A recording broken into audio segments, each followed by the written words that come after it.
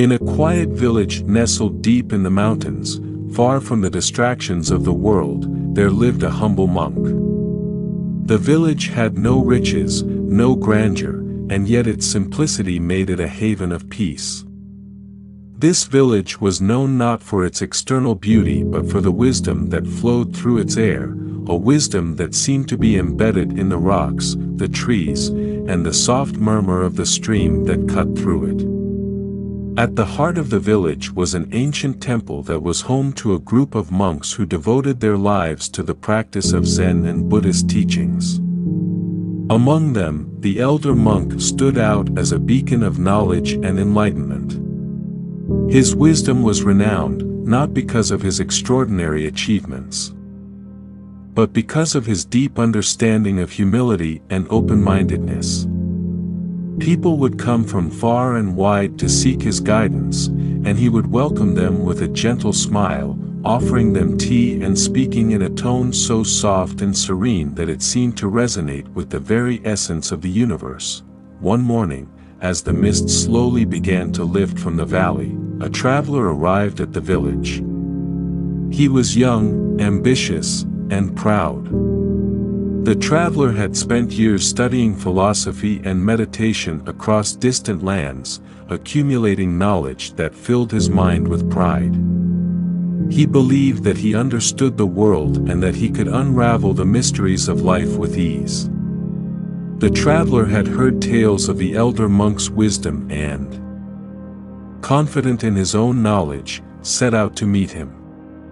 His intention was not to learn but to challenge, to debate, and perhaps to demonstrate his superior understanding. Lesson 1 Humility in Knowledge The traveler approached the temple with a stride full of confidence. The elder monk sat quietly on the temple steps, his eyes half closed, absorbed in the present moment. The traveler bowed, though with a hint of arrogance, and introduced himself. I have come to test your wisdom, the traveler said, his voice filled with a certainty that could not be mistaken. I have traveled far and wide, studied under many teachers, and have acquired much knowledge. I wish to debate with you, to see if your wisdom is as deep as they say. The elder monk smiled warmly and invited the traveler inside the temple. The two sat across from each other on the floor, the elder monk's calm demeanor contrasting sharply with the traveler's eagerness.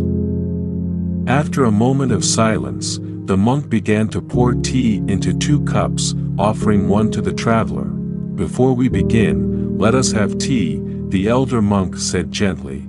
The traveler accepted the cup, but before he could drink, the elder monk continued to pour.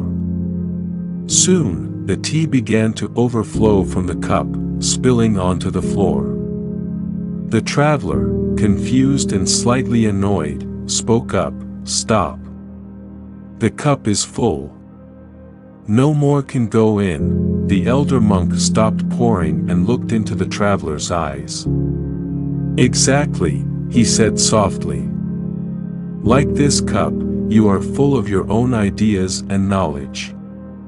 How can you learn anything new unless you first empty your cup? The traveler's face flushed with embarrassment. And in that moment, he realized the weight of his arrogance. His pride had closed him off to new wisdom.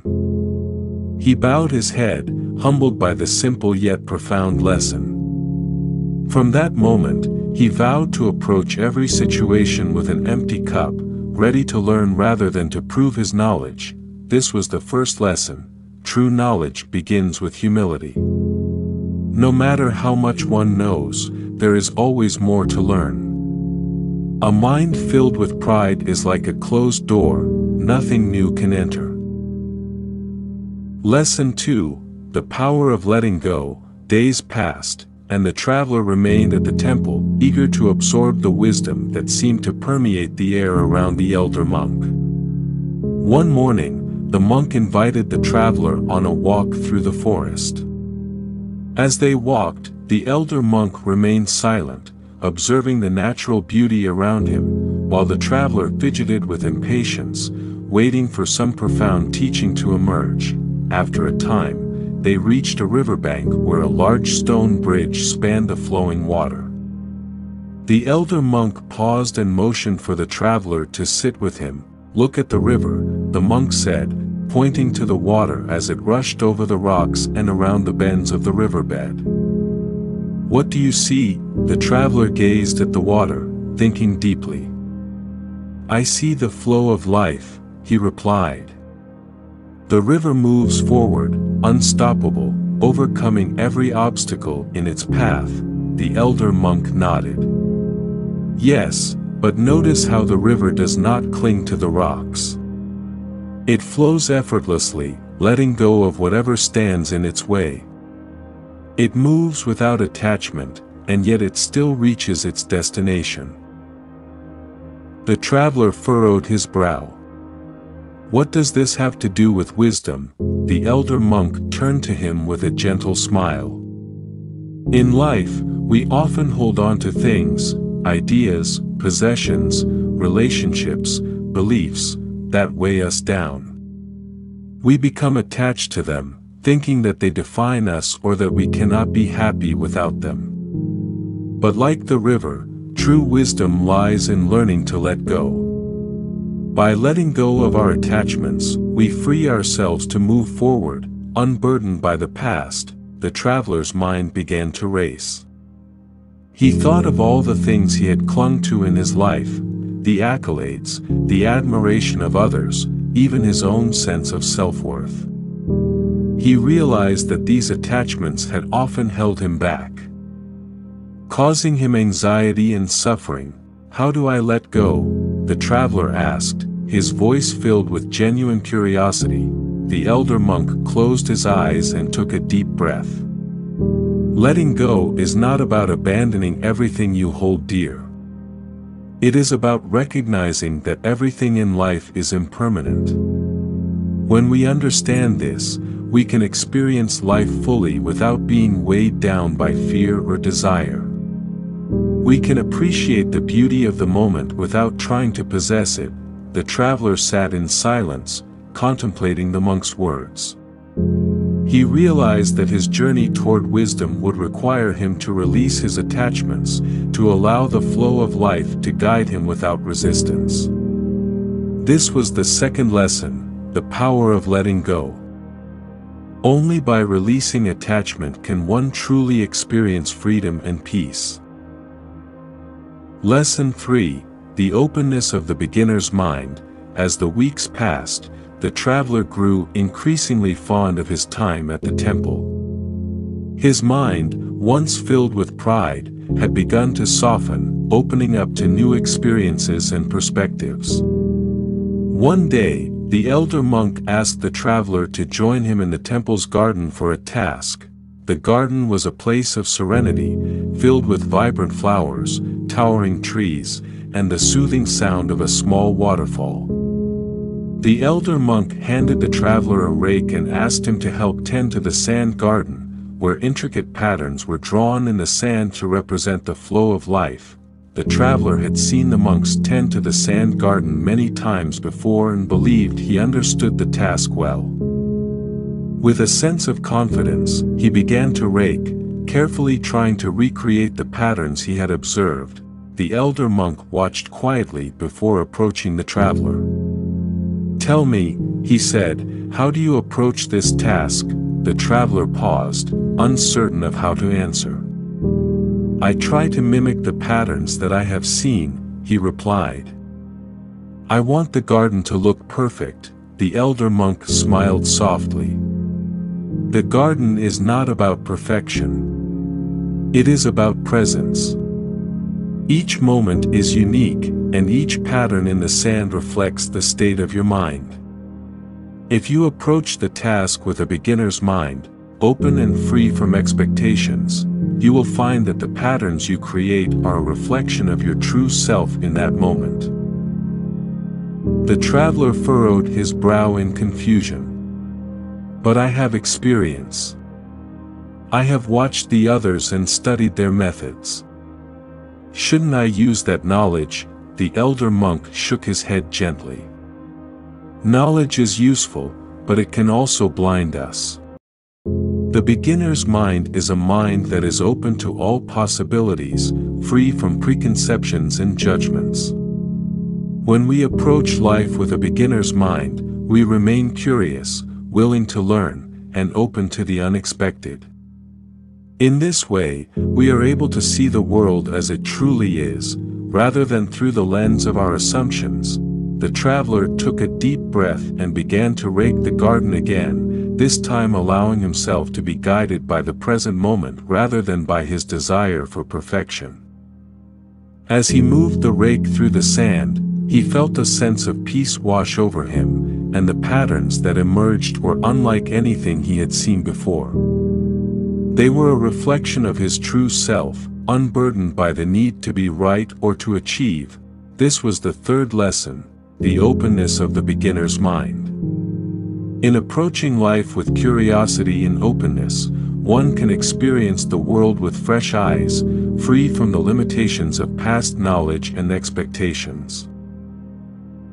Lesson 4 The Strength in Vulnerability As the traveler continued his journey of learning, he found himself confronting deeper aspects of his own character. One day, the elder monk asked him to accompany him to a nearby village to assist with the rebuilding of a home that had been destroyed in a storm. The traveler, eager to be of service, agreed without hesitation. When they arrived at the village, they were met by a group of villagers who were already hard at work. The traveler noticed that some of the tasks were unfamiliar to him, and though he was willing to help, he felt unsure of how to proceed. One of the villagers approached him and offered to show him how to repair the roof. The traveler hesitated for a moment, his pride whispering that he should not reveal his lack of knowledge. But then he remembered the lessons he had learned at the temple, the importance of humility, the power of letting go, and the openness of the beginner's mind. Swallowing his pride, the traveler nodded and allowed the villager to show him the proper technique. As they worked together, the traveler realized that by admitting his vulnerability and allowing himself to learn from others, he not only became more capable but also built a deeper connection with those around him. The sense of camaraderie and shared purpose filled him with a new understanding, vulnerability was not a weakness but a strength. It opened the door to growth, connection, and the discovery of inner resilience. This was the fourth lesson, the strength in vulnerability. By embracing vulnerability, one gains the courage to ask for help, to learn from others, and to grow in ways that would be impossible through pride alone. The traveler spent many months at the temple, each day revealing new layers of wisdom and understanding. He had arrived full of pride and certainty, but through his experiences, he learned the value of humility, the power of letting go, the openness of the beginner's mind, and the strength found in vulnerability.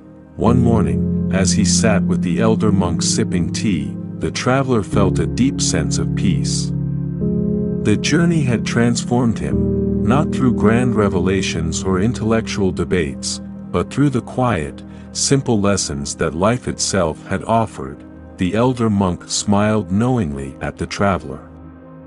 True wisdom is not found in the answers we seek but in the humility to keep asking questions and the openness to learn from every experience. The traveler bowed deeply, not as a gesture of deference, but as a reflection of the gratitude he felt for the journey that had brought him to this place of peace. He realized now that wisdom was not a destination but a lifelong path, one that required an open heart, an empty cup, and a willingness to be vulnerable. With this newfound understanding, the traveler continued his journey, not with the goal of proving his knowledge, but with a heart ready to embrace the lessons that life had yet to reveal. Thanks for watching. Hope you enjoyed this video, don't forget to subscribe to my channel for more content like this. Just click the subscribe button below and hit the notification bell so you never miss an update. Also, Feel free to leave a comment and let me know what you'd like to see next. See you in the next video.